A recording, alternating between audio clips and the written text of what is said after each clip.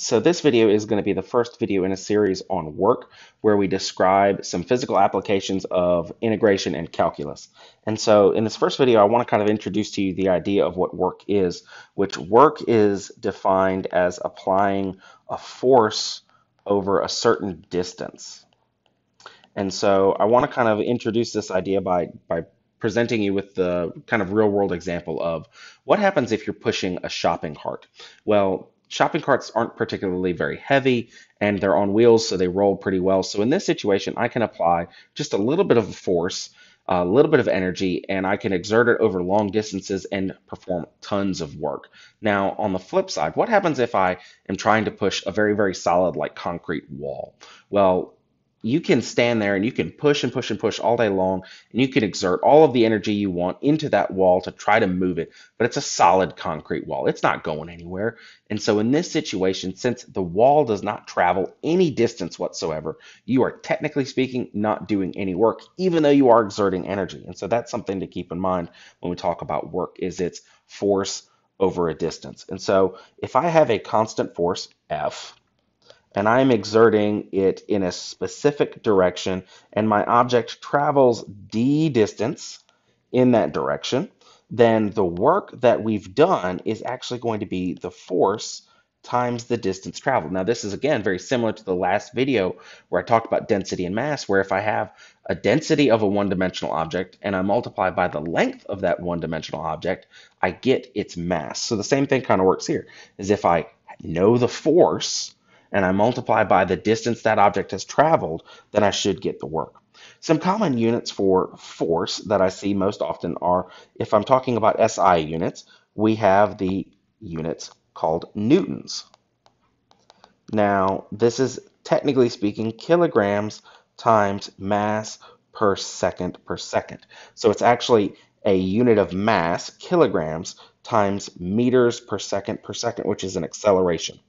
Um, for the US standard, we typically see the unit of force is pounds. Um, that's not a unit of mass, that is a unit of force. Uh, or another way to say it, a better way to say it might be weight, because we're considering the mass of an object and its gravitational pull, how much acceleration due to gravity it is. So again, that's the unit of weight or force here. Um, another common thing we need to look for is common measures of work.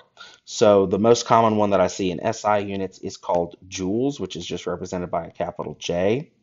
Um, when we find it, since it's force times distance, it's technically newtons times meters, which can also be written as kilograms times square meters per second per second. Um, but again, joules is the, typically the way we write it. Um, for the US standard, it's foot pounds.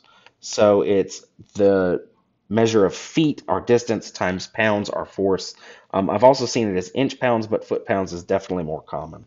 Um, in our first example, I want to find the work done when a unit, or excuse me, when a constant force of 12 pounds is exerted on a chair to move it from 0.9 to 1.1 feet. And so notice the total distance that this chair is actually traveling is 0.2 feet.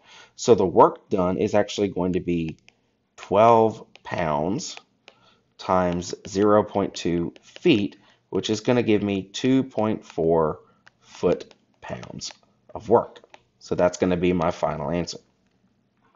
Now, just like when we talked about density and mass, what happens if it's not a constant or uniform force? What happens if, for instance, I'm pushing that shopping cart up a hill? If it's a very, very uh, shallow or not very steep hill, it's not going to take nearly as much work as when I get to a steeper section, and it takes a lot more energy, a lot more force to push it up uh, into that higher elevation.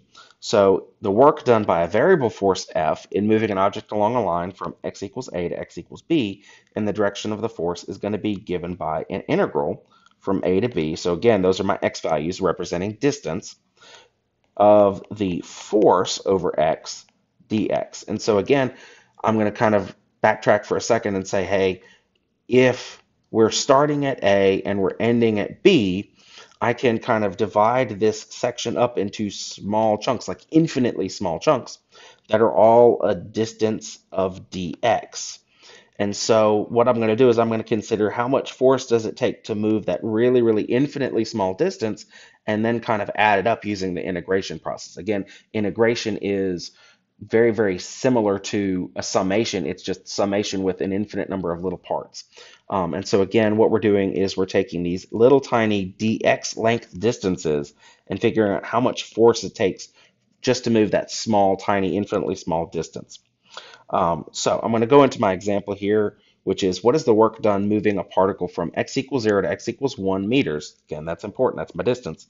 If the force acting on the particle is 3x squared newtons. Okay, so I'm going to set up my integral. And again, our distance is from 0 meters to 1 meters. And our force is 3x squared dx. So again, this is in newtons. And my distance is measured in meters. So I'm going to integrate this like normal. So we're going to do 3x cubed divided by 3. So in reality, I don't even need the 3's. Um, and we're evaluating from x equals 0 to x equals 1. So we'll do 1 cubed minus 0 cubed, which is 1 minus 0, or just 1 Newton times meter, which is the same thing as 1 joule. All right, so hopefully that helps better explain the idea of work and how it applies to some of our integration and calculus strategies. I'll see you guys in the next video. We're still going to be talking about work.